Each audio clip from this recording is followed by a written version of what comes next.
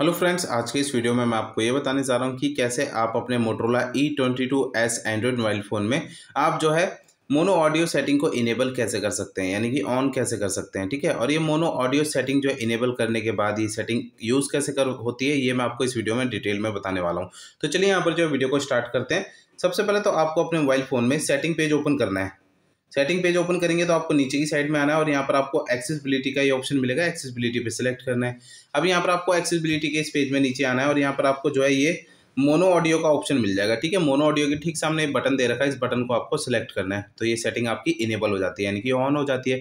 अभी सेटिंग जो है इनेबल होने के बाद ये सेटिंग काम कैसे करेगी, ये मैं आपको समझा देता हूँ, ठीक है? तो ये आप नीचे की साइड में ऑडियो बैलेंस ये जो ऑप्शन देख रहे हैं, ये मोनो ऑडियो का ही पार्ट है, ठीक है? और इसके ऑडियो बैलेंस के नीचे लेफ़्ट और राइट देख रहे हैं लिखा हुआ, ये इसे आप ध्यान में रखिए, ठीक है? तो यहाँ पर मैं आपको एक चीज़ दिखा देता हूँ, ये मेरे पास जो है, मेरे मोबाइल ये जो ईयरफोन्स हैं, ठीक है? ये आप देख सकते हैं।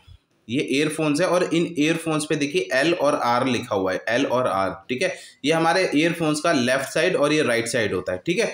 तो इस ये काम कैसे करता है कि जब भी आप अपने मोबाइल ईयरफोन्स को अपने मोबाइल से कनेक्ट करेंगे, चाहे वो ब्लूटूथ वाला ईयरफोन है, चाहे वो वायर वायर वाला ईयरफोन है दोनों में काम करता है मोनो ऑडियो ठीक है?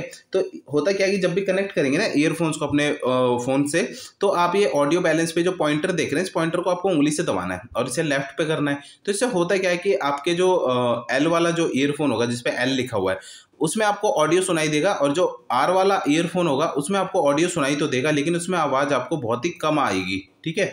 और इस पॉइंटर को अगर आप इसे पकड़ के इसे आप जो है राइट पे कर देते हैं तो अब होगा क्या? उसका अपोजिट हो जाएगा, यानी कि आर वाले ईयरफोन में आपको जो है ऑडियो सुनाई देगा, ठीक है? और एल वाले ईयरफोन में आपको जो है ऑडियो सुनाई तो देगा, लेकिन बहुत ही कम आवाज़ आएगी।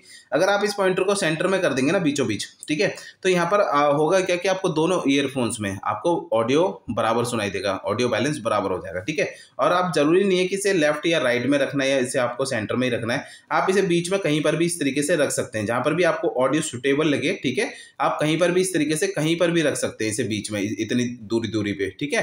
कहीं पर भी आप रख सकते हैं। तो ये सेटिंग जो है मोनो ऑडियो सेटिंग जो है, इस तरीके से काम करती है ठीक है?